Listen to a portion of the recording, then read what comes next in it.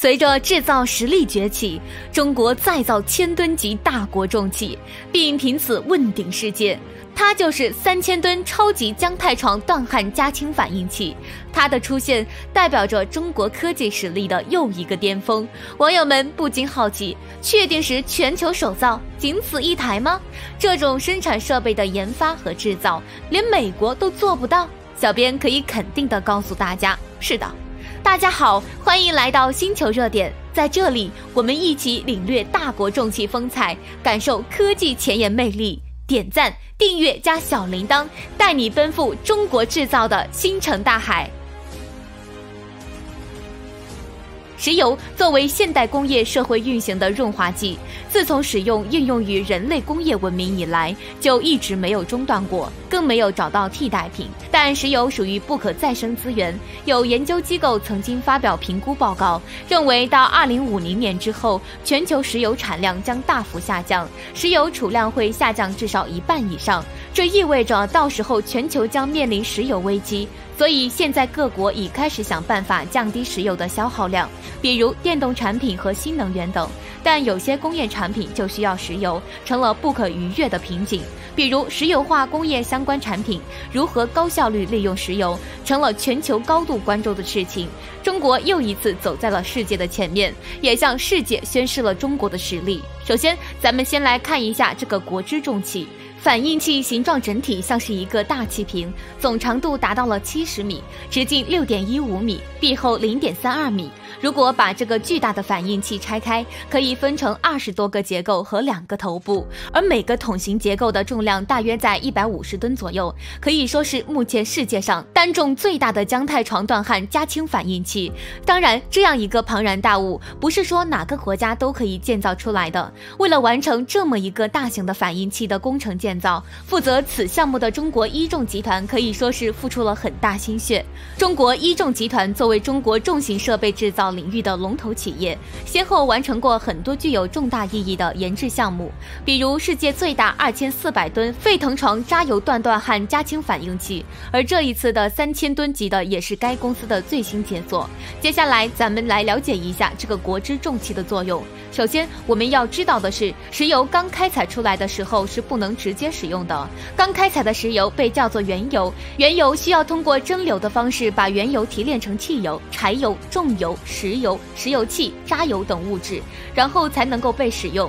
分离出来的汽油、柴油可以直接被我们使用，渣油和重油虽然也可以使用，但由于它们所能应对的情况比较少。使用方式容易造成不必要的能源浪费、收益不理想等因素，变得不被人们所重视。而石油资源是当今社会世界各国发展必不可少的资源之一，因此它的价值决定了它必须被完美利用。所以世界各国都在科学研究处理方法，而我们今天的主角就是因此而生。据了解，这款加氢反应器在二零一八年五月开始建造，由中国一众的铸锻钢事业部和大连河电石化公司共同完成这个项。目提高了石油原油的利用率，就能降低石油总量的消耗。换言之，如果全世界的各大炼油厂都使用了中国的这款超级姜太床断焊加氢反应器，就能降低石油的整体消耗量，从而降低全球每一天、每个月、每年的石油消耗，降低二氧化碳的排放量，从而为缓解全球气候变暖贡献出自己的一份力量。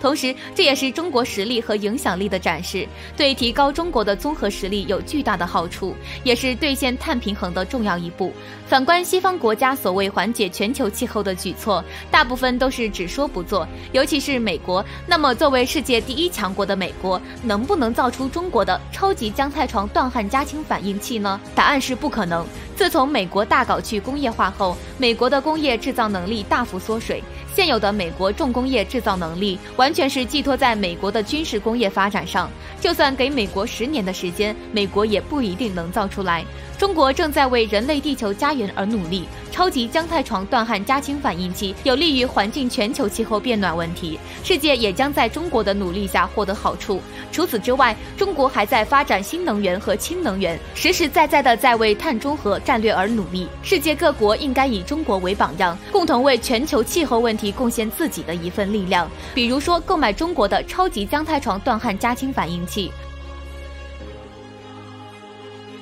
中国技术的多次突破，让我们有了这一设备。也正是因为有着这一机型的加持，不仅仅使得中国刷新着世界在断焊加氢反应器方面的制造记录，也让中国在相关领域的制造技术和能力中取得领先。与此同时，让中国全球范围内的石化产业达到了进一步的优化，为中国石油的自主增添了强大的助力。截止十二月二十四日，大庆油田三次采油量产量再次突破千万吨，实现连续二十年年产量超千万吨，累计生产原油二点八六亿吨，建成了全球规模最大的三次采油生产基地。三次采油技术已经成为支撑大庆油田持续发展的主导开发技术，有力推动了世界提高采收率技术的发展。中国的中石油天然气股份有限公司也在今年宣布，前三季度的营业收入达到了一点八八万亿人民币，比起去年已经增长了百分之三十一点八，其中净利润就已经同比增长百分之六百四十六点三，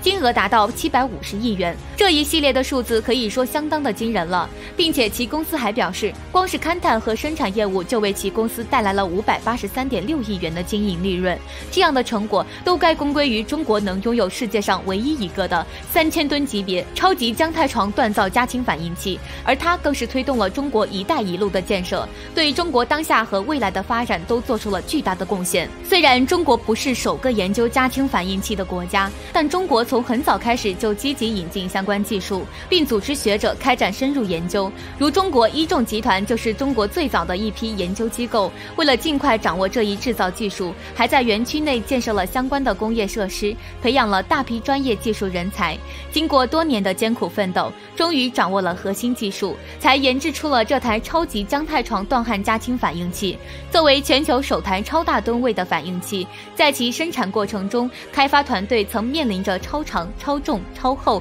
焊接难度大等多方面困难。为此，技术人员和工作人员们集思广益，充分发挥个人和集体智慧。大胆创新，反复试验，自主研制了如深孔全自动 TIG 焊机在内的多项新技术、新设备，终于圆满解决了反应器制造过程中的全部问题，高质量完成了任务，让中国的石化工业更上一层楼。中国制造也由此再度刷新了世界纪录。中国像这样给我们带来诺大惊喜的大型设备，在其他方面也还有很多。小编相信，今后这样的惊人设备一定还会出现的更多，届时中国的发展也会逐步前进。我我们。的生活也会随之变化巨大。今天的视频内容就到此结束了。那么之后的哪一方面可能尽早出现让大家惊喜的设备呢？对于这样的问题，你又怎么看？欢迎在视频下方留言和小编互动，一定不要忘记点赞加订阅哦，这样既能回顾往期视频，又不会错过之后的精彩内容。那我们下期节目不见不散。